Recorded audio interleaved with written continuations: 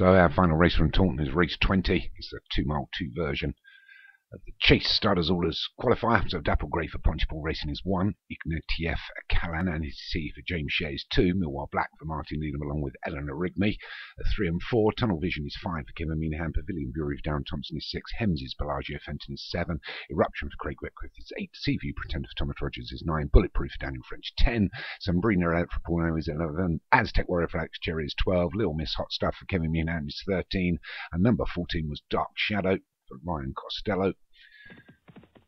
Already awake. They start just on the turn here. And we're going to be led into the first by Ignatieff Kalanisi. But James Shea takes the first of them. They'll get over it. Bit of a poor jump by, uh, I think one just slipping back there's bulletproof. Bit of a mistake on landing. But it's Ignatieff Kalanisi that leads us from Aztec Warrior in second, Millwall Black in third. And you've got the first of the Greys, Dapple Grey nosing through as they get to the first big ditch. They'll get over it.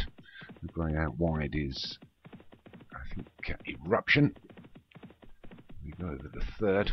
14 they have to take. We'll get over it. Got uh, Ignatieff Kalanisi is the one that's leading us by about three lengths to Aztec Warrior on his own in second. We get to another big ditch, the fourth. Everybody gets over it. A couple of slide jumps towards the rear. A few mistakes, but it's Ignatieff Kalanisi. Swings them right-handed out towards back towards the stable block in the stands. And he leads by about three to Aztec Warrior. Then the War Blacks a further three back. First of the Greys, Dapple Grey, and then a Rigby on his outside there, followed through by Sambrina Elliott Tunnel Vision. Then a length back to Little Miss Hot Stuff. We go over the fifth, leader took a little bit of a gamble on it. His lead's down to just a couple of lengths now. We go over the six. He takes it well. Getting a little bit strung out now through the first sort of five, six furlongs, but it's Ignatieff Kalanisi. It leads him into the seven, jumps it well, a couple of slide jumps towards the rear. He's only got Aztec Warrior for company at the moment. There's a further four, five lengths back to Eleanor Rigby. Millwall Black on the inside, Tunnel Vision, Sambrina Elliott.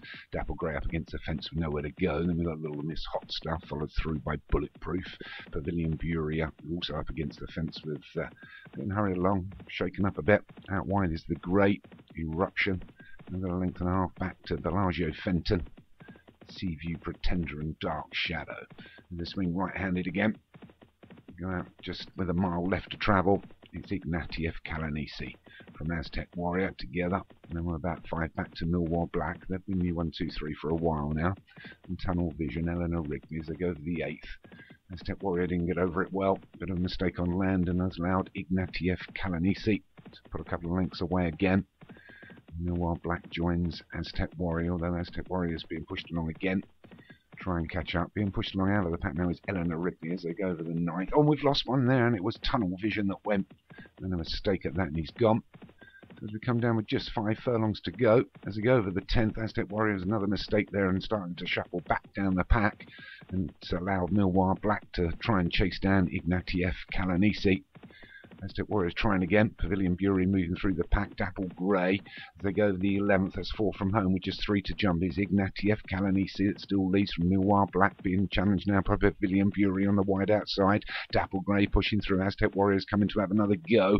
And then a Rigby, but at the leader at the moment, he's got about three length advantage as we come inside the final three.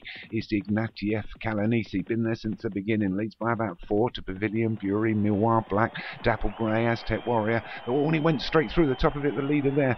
Millwall Black got away better. So we're inside the final quarter mile, and it's still Ignatieff Kalanisi. A little bit of a slow jump there. Worse from Millwall Black. Pavilion got over it well. So with a furlong and a half to go as they come down to the last, it's Ignatieff Kalanisi and Pavilion Bury jump it well. Pavilion Bury jumped it better, so Pavilion Bury now by half a length inside the final half. It's Pavilion Bury from Ignatieff Kalanisi. Is he going to hang on here? I think Pavilion Bury is going to take this from the long-time leader, Ignatieff Kalanisi. Millwall Black ended up being third. Uh, a good win there for Pavilion Bury, which I think is Darren Thompson. It's another one in the final, week 13. Unfortunately there, Ignatieff Kalanisi for James Shea, who've been running really well. Just made a couple of mistakes in the last two. they're a good four or five lengths away from third, which was Millwall Black. Uh, Martin Leadham. Fourth was Bulletproof for Daniel French. And fifth was Dapple Grey for Pontypool Racing.